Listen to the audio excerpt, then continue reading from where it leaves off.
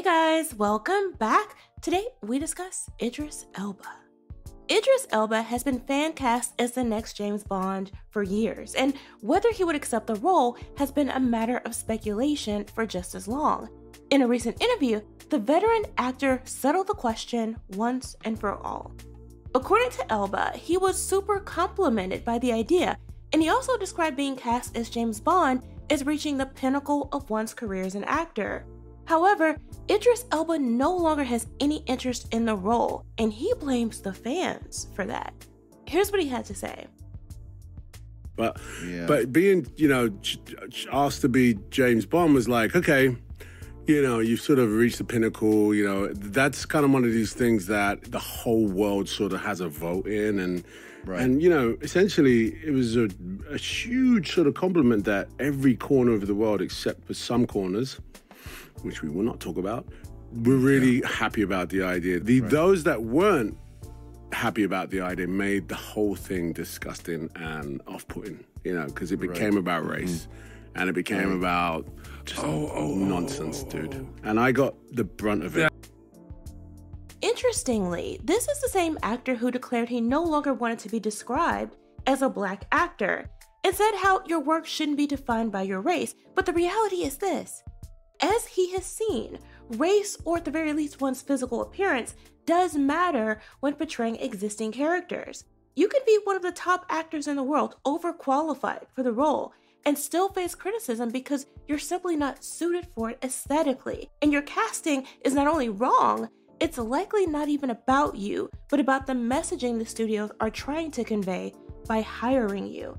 Unfortunately, Elba is choosing to blame the fans, and he's doing so by calling critics of such casting racist.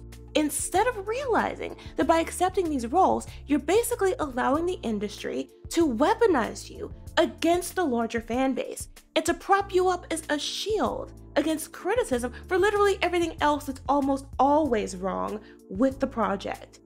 The industry can say what it will about diversity, inclusion, and representation, but they don't really care about any of it. If they did, then they wouldn't engage in race swapping.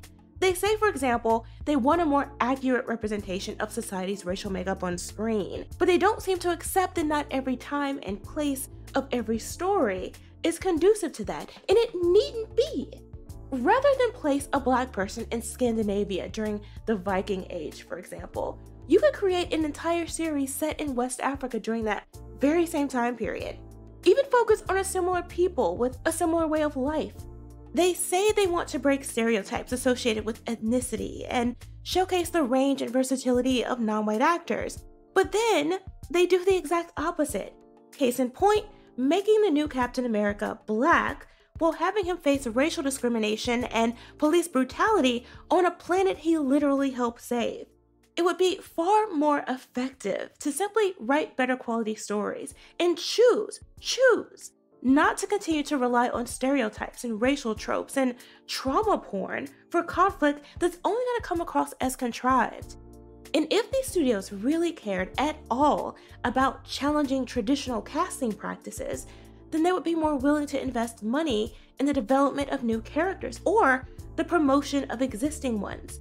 And unfortunately, too many actors allow themselves to be used by their creatively bankrupt peers to virtue signal so called diversity while simultaneously casting them, even the best of them, in the worst roles or roles that were originally white characters that are often washed up hand me down by this point, or they're remakes or reimaginings and reboots that really shouldn't be made in the first place.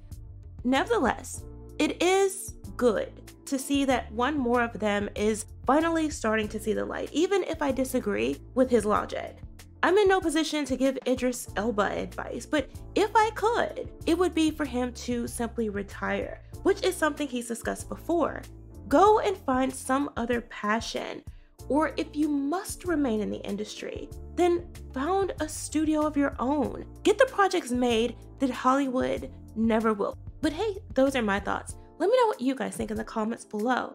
Thanks for watching. Remember to like, comment, share, and subscribe, and I'll see you next time.